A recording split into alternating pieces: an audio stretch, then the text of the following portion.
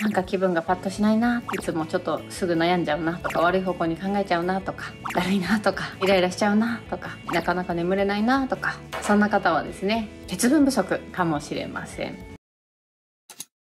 べっぴん菌でべっぴん体質鈴木ひろみです。鉄分不足っていうのはですね、女性ね、隠れ貧血の方が多いっていう風に言われてたりとかしてですね、実はいろんなことの原因になっていることがあります。何らかね、ちょっとメンタルの不調がある方は、一番手軽にね、簡単に変えることができるのがね、食べ物かなと思うので、その時にはこんな食べ物選ぶといいよっていう話をね、今日はしていこうと思います。今回はですね、気分のアップダウンが激しい時は、食事を見直そうということですね。そして食事が不調を解決するわけについてもお話ししていきます。そして3つ目ですね、麹で栄養素の吸収をアップしていこうということでですね、お話ししていきたいと思います。最後まで見ていただきますと、どんどん元気になっていって、メンタルもね、どんどんどんどん元気になっていくかなと思いますので、ぜひ最後までご覧ください。このチャンネルでは麹にまつわるいろんなお話をしております。はい、麹はですね、日本の国金である麹菌からできております。でこの麹はですね、日本の調味料であるお醤油、お味噌、みりん、お酢、お酒、ね、こちらの全部のですね、原材料になっております。この麹がいなかったらね、私たちの日本の食文化だったりとか、日本の食の歴史っていうのはね、大きく変わっていったんじゃないかなと思うぐらい、私たちの腸にね、ぴったりと合っているというところもね、あるかなと思います。菌と仲良くしてね、美味しくご飯を食べるだけで、メンタルもどんどん改善していくよっていうところになっていきますので、ぜひチャンネル登録もしていただければと思います。こちらの LINE 公式ね、お友達になっていただだきますと、今日から使える麹レシピ10選をプレゼントしてますので、よかったらお友達になっていただいて、早速作ってください。概要欄からお友達になれますので、よかったらお友達になってくださいね。ということで、気分のアップダウンが激しい時ですね。心がね、元気になる神経伝達物質の一つになりますけれども、セロトニンという物質ですね。そちらはですね、腸からも作られるし、脳から脳でも作られて、脳内物質としてもね、分泌されるんですけれども、基本的には腸から吸収された栄養素でしか出来上がりませんので、なので、しっかり吸収できる腸が大事だし、ね、それを整えるにはですね、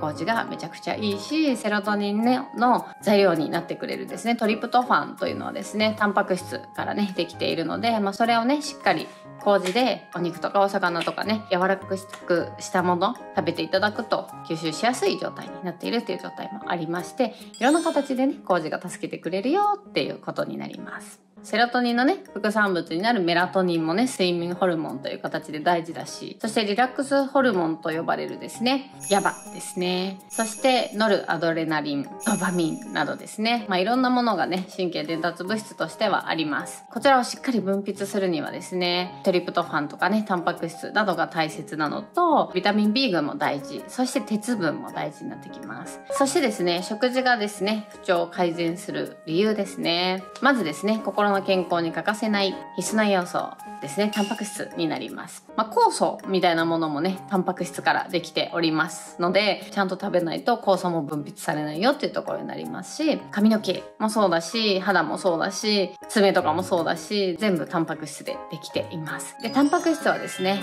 今あるものが分解されて新しいものに入れ替わります。なんですけれども、ストレスがかかるとね、分解する方が優位になっちゃうんですね。なので、より多くタンパク質を取る必要があったりします。で、甘いものがね、食べたい時とかもですね、タンパク質不足でね、甘いものが食べたいっていう風にね、変換されてるなんていうことも言われているので、タンパク質ね、しっかり取るとですね、甘いもの食べたいっていうね、衝動もね、防げるかもしれません。そしてビタミン B 群ですね。ビタミン B 群は心に効く栄養素ということでですね、脳内ホルモンというのはですね、アミノ酸からできております。幸せホルモンのね、別名を持ちます。セロトニンとかですね、ときめきホルモンね、もうキャーっていう感じのものですね、のドーパミンですね。これらをね、分泌するにはですね、ビタミン B3 ですね、ナイアシン、あとはビタミン B6 ですね、あとは葉酸などのですね、ビタミン B 群も必要になります。で、ビタミン B 群はですね、お互いにですね、補いながら働くので、単体ではなくてですね、全体で取るとより効果が高いと言われています。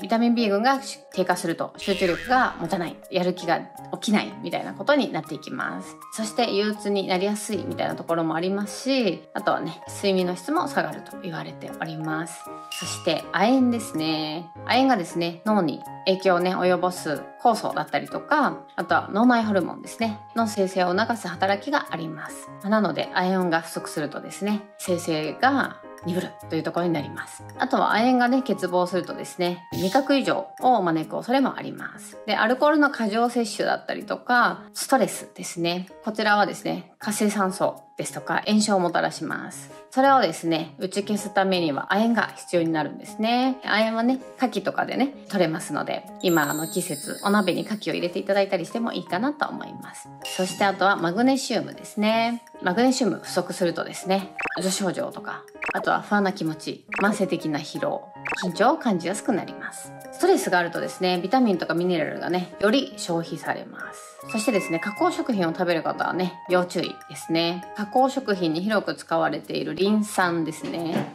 こちらはですね、マグネシウムとか亜鉛とかのミネラルをですね、吸収するのをね、阻害してしまうというところがあります。マグネシウムはですね、いろんな消化酵素をですね、サポートする役割もあります。なのでね、しっかりマグネシウム取るもそうだし、マグネシウムしっかり吸収できる体を作っておく。そして吸収をね、阻害するようなものをね、食べないというところも大事かなと思います。そしてマグネシウムはですね、睡眠にもいい影響があります。マグネシウムね、しっかり毎日ね、取るとですね、筋肉が緩んで眠りやすくなるだけでなくて、胸が開いてですね、深い呼吸もしやすくなってリラックスしやすい状態になると言われています。そして鉄ですね。脳内ホルモンの生成。そして脳細胞を含むですね。全身の細胞の機能維持に関わるですね。ミトコンドリアのエネルギーの産生において必要不可欠なミネラル。それがね鉄分になります。で、この鉄分がですね、不足すると、イライラしたりとか、気分が落ち込んだりとか、あと急に不安になったりとか、疲れやすいなどの症状が出やすくなります。そしてビタミン D ですね。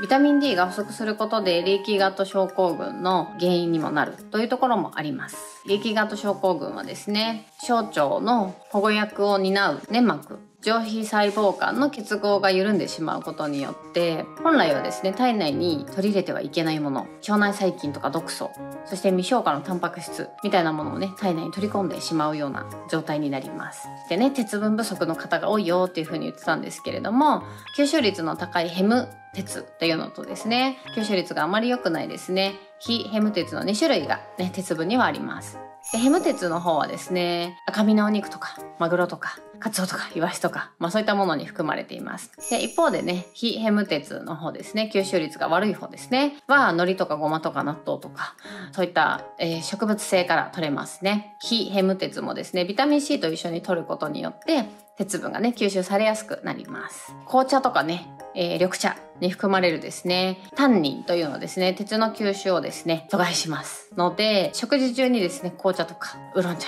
緑茶みたいなものはですね、気をつけていただくといいかなと思います。